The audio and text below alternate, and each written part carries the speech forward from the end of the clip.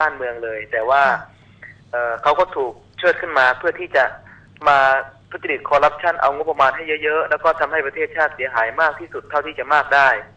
ค่ะเพื่อที่จะทำให้คนไทยนี่นะครับ อีกฝ่ายหนึ่งนี่นะครับ รู้สึกเครียดแค้นแล้วก็เป็นทุกข์อันนี้เป็นการซ้ำเติมให้กับประชาชนชาวไทย แล้วก็ทหารซึ่งตอนนี้เนี่ยนะครับ เราก็คงจะหวังไม่ได้นะครับ เพราะว่าทหารก็ถูก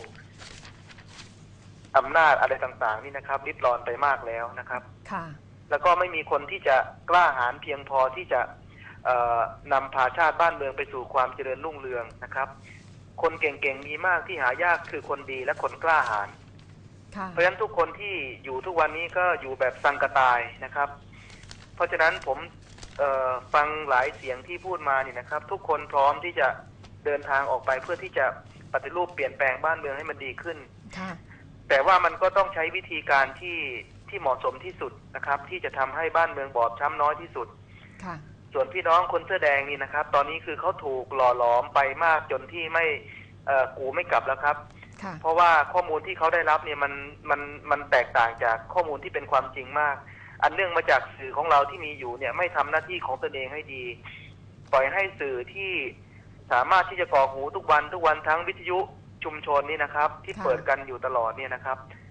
พี่น้องแสดงก็ได้ดูฟังได้ดูได้ฟังแต่ส่วนนั้น เพราะฉะนั้นส่วนอื่นนี่เขาไม่รับรู้เลย คนที่ไปพูดเห็นตรงข้ามกับเขาเขาถือว่าเป็นศัตรูหมด ทั้งๆทที่คนเนี่ยเขาหวังดีกับเขาแต่เขาไม่รู้ตัวนะครับ เพราะฉะนั้นตรงนี้ผมคิดว่า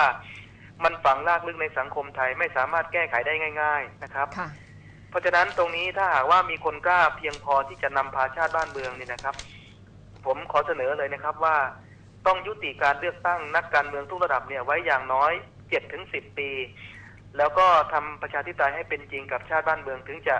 เอ่อนำความสงบสุขกลับคืนสู่บ้านเมืองได้ครับ ขอบคุณครับ สวัสดีครับ ขอบคุณค่ะ สวัสดีค่ะ ค่ะ ท่านวรินทร์ต่อได้ค่ะ ใส่เข้าค่ะ ขอประทานโทษค่ะ ใส่เข้า สวัสดีค่ะ สวัสดีครับ อาจารย์สุวัสด์อาจารย์สววรินทร์และก็คุณพัชชา สวัสดีค่ะครับสวัสดีครับผู้ชมที่เคารพทางบ้านทุกท่านนะครับ คือผมจะบอกพี่น้องอย่างนี้นะ สถานการณ์มันจะสุกงอมไปเรื่อยค่ะๆ การที่เรามาพูดกันอย่างเนี้ย อย่างน้อยเราก็ปรับทุกข์ปลูกมิตรกันนะอย่าไปท้อถอยครับ ยิ่งท้อยิ่งเข้าทางนักสินนี่มันเป็นหนึ่งในยุทธวิธีของนักสินอยู่แล้ว เพราะทุนสามานี่มันลบกับมันยากนะฮะค่ะผมยืนยัน ถ้าเราสู้กับปฏิบัติการอาหารจะง่ายกว่า เพราะอะไรครับหนึ่งประชาชนไม่แตกแยกแต่ทุนสามาเนี่ยมันร้ายตรงที่ว่า มันจ่ายสินบน มันซื้อคนไทย มันใช้สูตรไส้ศึก อะไรประมาณเนี้ยเหมือนพม่าเนี่ยค่ะ ให้ส่งข่าวส่งอะไรแล้วก็ให้ละเว้นการปฏิบัติหน้าที่ให้ เพราะฉะนั้น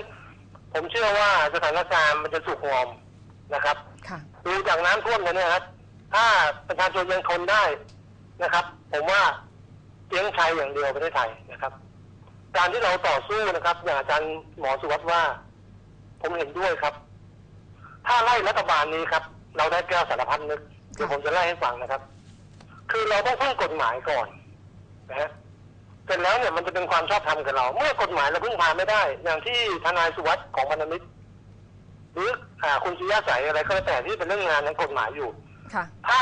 มีการละเว้นปฏิบัติหน้าที่ถ่วงเวลาดึงเชงนะครับ เราจึงมาลงถนนกัน รับรองว่าครับ คุณลองไปดูดิครับ ประชาชนฟิลิปปินส์ที่ขับไล่มาร์กอสเป็นค่ะภาพที่ดูแล้วขนลุกครับ ขนลุกจริงๆนะอยู่ไม่ได้หรอกครับนะเราก็ต้องเล่นตามระบบแล้วเราต้องออกไปแบบมีขั้นตอน ไม่ได้สุ่มสี่สุ่มห้าออกไป เราก็รู้อยู่ว่ามันมีอะไรตอนนี้มันมีอะไร มันมีกองกำลัง เราขาดแบ็คอย่างเดียวนะครับ ขอเรามีแบ็คเท่านั้นเลยครับ ผมเชื่อเอาว่าประชาชนออกไปเป็นถนนนะครับ และที่สำคัญนะครับ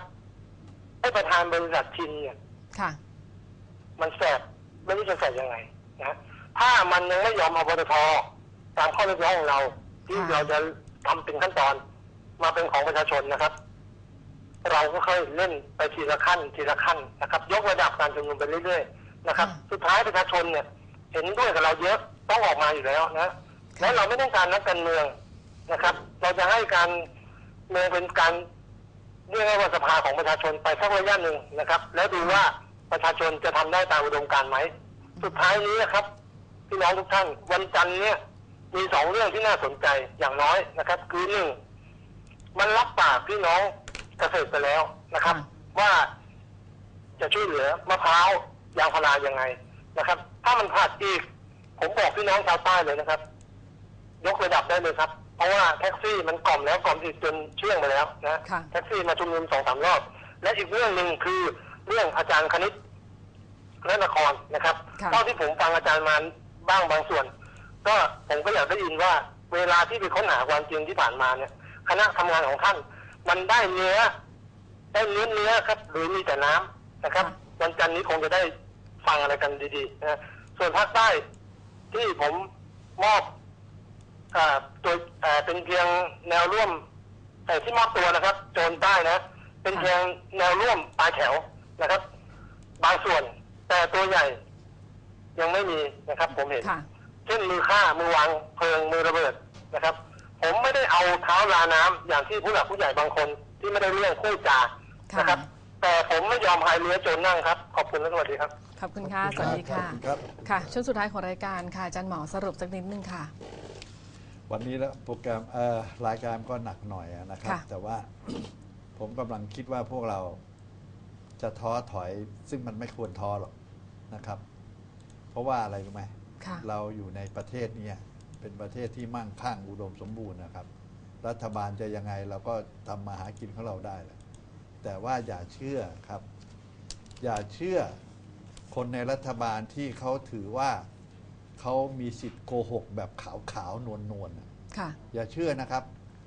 ถ้าคนโกหกได้ทำอะไรก็เห็นซวยโอ้ยขอประทานไปทำอะไรก็ไม่ได้เรื่องทั้งนั้นแหละครับนะครับ ค่ะทำทำด้วยตัวเองครับ เดี๋ยวพอถึงเวลาเราจะรวมพลเปลี่ยนรัฐบาลเราก็จังหวะนั้นเราก็ค่อยรวม ค่ะอาจารย์หมอค่ะท่านวรินทร์คะผมผมผมอยากให้จับตาดูนะครับว่ายุทธศาสตร์ของของการยึดอำนาจรัฐเนี่ยมันน่าจะเปลี่ยนแล้วค่ะ นะครับสิ่งที่มันเกิดขึ้นที่ผ่านมาทั้งหมดเนี่ยมันน่าจะเป็นภาพลวงตา อืมผมกำลังมองเห็นภาพอีกภาพหนึ่งซึ่งมันกำลังจะชัดขึ้นนะครับ ค่ะ ก็คือการที่สร้างหนี้สาธารณะมากๆ เสร็จแล้วก็จะทิ้งทิ้งบ้านทิ้งเมืองนะนะฮะค่ะแล้วก็จะปล่อยให้คนไทยทั้งประเทศเนี่ยเผชิญชะตากรรมต่อไปนะค่ะครับท่านเหมือนกับในในในกรีกในตุรกี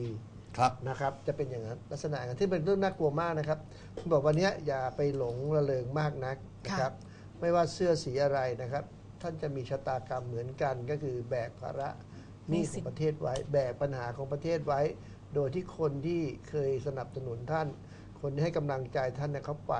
ค่ะ ครับ ค่ะท่านค่ะ ประเด็นทุกๆประเด็นสำหรับวันนี้นะคะ ก็เป็นประเด็นที่ท่านผู้ชมทุกท่านปล่อยปละละเลยไม่ได้นะคะ แล้วก็จำเป็นที่จะต้องช่วยกันจับแล้วก็ช่วยกันดูนะคะ ในทุกๆเรื่องค่ะ อย่าปล่อยให้ผ่านเลยไปค่ะ ทุกๆ เรื่องทุกๆ ปัญหาที่เกิดขึ้นเราทุกคนเผชิญร่วมกันนะคะ อยากที่จะให้ร่วมกันสู้แล้วก็มีความหวังร่วมกันต่อไป เพราะว่าเราทุกคนคือคนที่ต้องอยู่บนผืนแผ่นดินผืนแผ่นดินนี้นะคะ และเราทุกคนก็เป็นคนที่จะ ทำให้ผืนพันดินนี้มีต่อไป ให้ลูกหลานได้มีอยู่หรือว่าไม่ได้มีอยู่นะคะสำหรับวันนี้ดิฉันพัชชาธนาเลิศค่ะ ท่านอดีตสววรินเทียมจรัสท่านเภสัชกรสุวัสดิ์สินสุวงศ์ต้องขอบคุณทุกๆทท่านและทุก ๆ ความเห็นนะคะสำหรับวันนี้ต้องขอบคุณและลาไปก่อน สวัสดีค่ะไม่มีดนตรีเลยเมืองนั้นไม่เพลิ